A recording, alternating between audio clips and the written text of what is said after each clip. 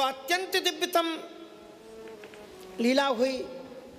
जब वो उपदेश दे रहे थे, उसमें द्रौपदी जी को थोड़ी सी हँसी आ गई। द्रौपदी जब हँसी तो उनके हास्य की ओर भीष्म पितामह जी का चित्त चला गया। भीष्म पितामह जी ने कहा कि बेटी, तुम हंस क्यों रही हो? कहा, कुछ नहीं, महाराज, क्षमा कीजिएगा। ये मेरा अज्ञान है। जैसे महापुरुष जहाँ उपदेश कर रहे हो मुझ जैसी अल्पज्ञा, अल्पमति वाली नारी को उपहास नहीं करना चाहिए, हंसना नहीं चाहिए। भीष्म पितामह जी ने कहा, पितामह जी ने कहा कि द्रौपदी, तुम अल्पमति वाली नहीं तुम कोई सामान्य नारी नहीं हो, अभी आपको परिचय दिया गया था द्रौपदी कैसी नारी है, धर्मम, न्यायम सकर्णम निर्वलिकम समम महत। इति पुंसार तो इस प्रकार से साधारण नारी नहीं है। धर्मम न्यायम महत इतना महान उसमें छह चीज़ें विद्यमान थी। तो भीष्म पितामह जी ने कहा कि मुझे बताओ कि आप हँसी क्यों?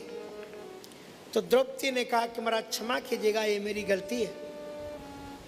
आज आपने प्रवचन समाप्त किया स्त्री धर्मान। स्त्री धर्म पर कि यत्र नार्यस्तु पूज्यंते रमनते, तत्र देवता। धृतराष्ट्र, तुम धर्म के साक्षात अवतार हो, युधिष्ठिर जी। इसलिए आपके राज्य में ध्यान रखना कि कभी भी नारी का अपमान ना हो।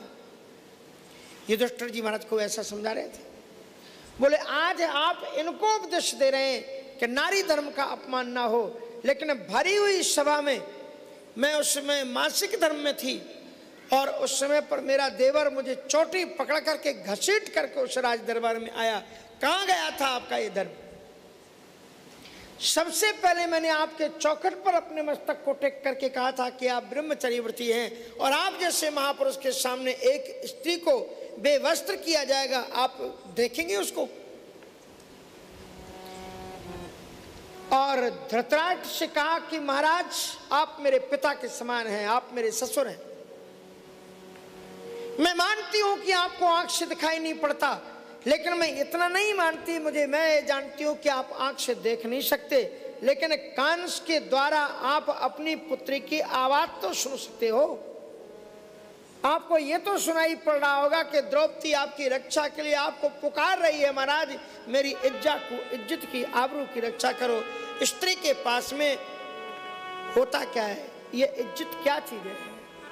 लज्जा है। इसलिए कहा गया यह श्री स्वयं सुकृति नाम भवने सुलक्ष्मी पापात्म नाम कुल धिया हृदय सुबुद्धि श्रद्धा सताम कुलजन प्रभवस्य लज्जा। ताम तोम न परिपालय देवी विश्वम। तो यहाँ पर कहते हैं कि श्रीमतों के यहाँ पर लक्ष्मी जी स्त्रियों के जीवन में किस रूप में रहती हैं, दुर्गा जी? कहते लज्जा।